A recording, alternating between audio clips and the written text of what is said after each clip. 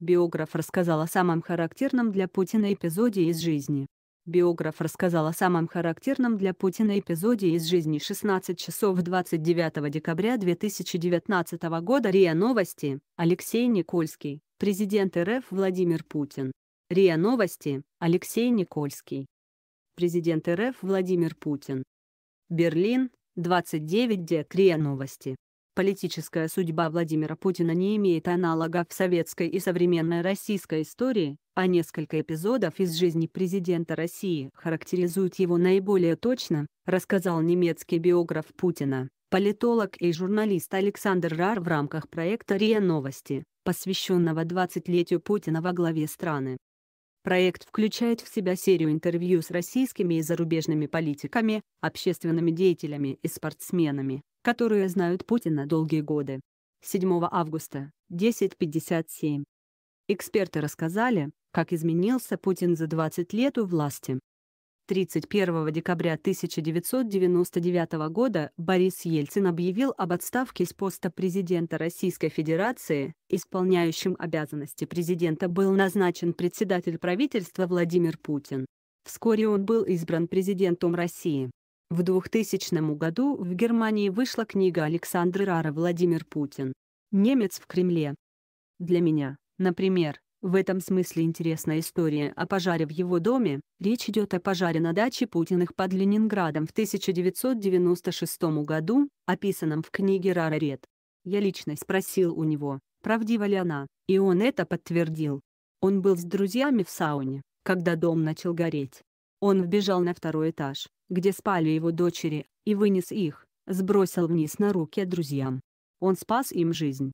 И потом он вспомнил, что в доме в дипломате хранятся все сбережения, и он еще раз вбежал в горящий дом и увидел, что все деньги сгорели, и только его нательный крест лежал нетронутый.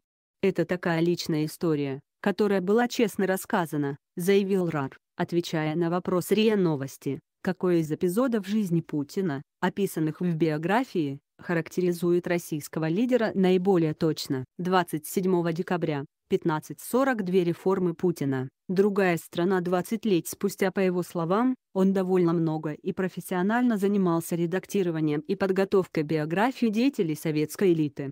Когда Рар начал писать биографию Путина, он понял, что это совсем другая биография, чем у старых элит, это был совершенно другой образец карьеры. По словам Рара, Путин это самый значимый политик 21 века, он по своей воле и идеям создал новую страну.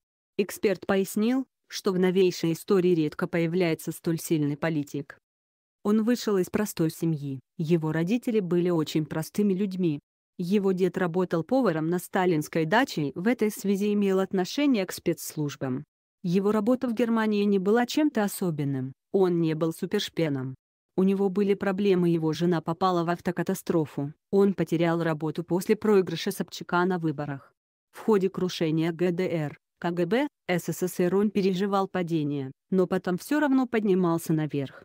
Эта динамика, эти взлеты и падения это было совсем другое, чем биография Ельцина и остальных советско-российских функционеров, считает РАР.